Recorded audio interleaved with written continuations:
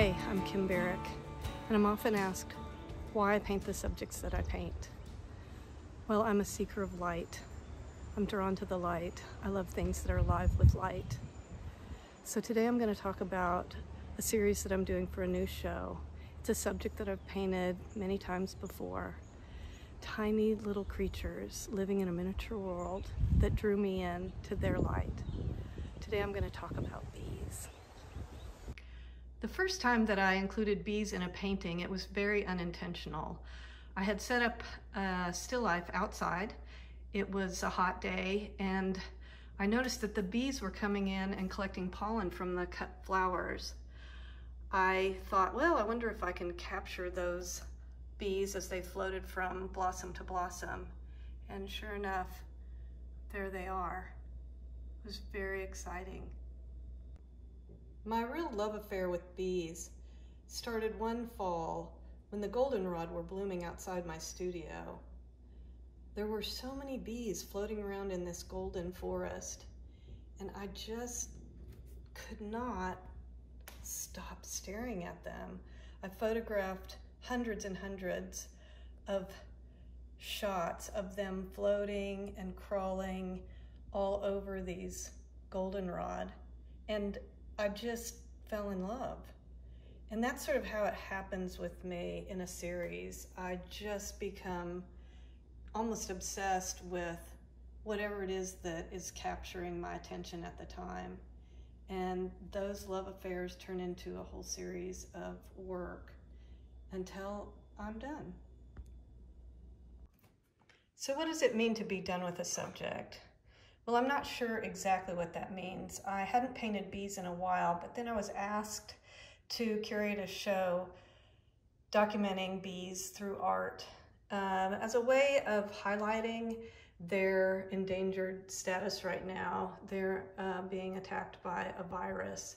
And that really made me want to revisit my beloved subject, the bees.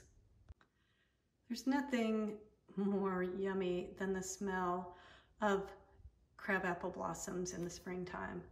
And this year in my crabapple trees, I found this guy floating right in those blossoms. And boy, was he having a time. I imagine him drunk with love for all of that pollen. In this piece, I wanted to capture that intent that a bee seems to have when they've found just the perfect spot to zoom into. And hollyhocks and bees just are a perfect marriage for me. The hollyhocks are so lively and you get to see those little bees crawling up into the cups and uh, really shaking those little booties. And boy, what a fun, fun, wonderful, wonderful experience that is. Just like any love affair, there's a honeymoon stage where you're absolutely fascinated. And then there's sort of the lifetime intrigue and interest in a subject that is really a true love and not just an infatuation. I think bees fall into that category for me. They are always engaging and I love the way the light flashes on those cellophane wings.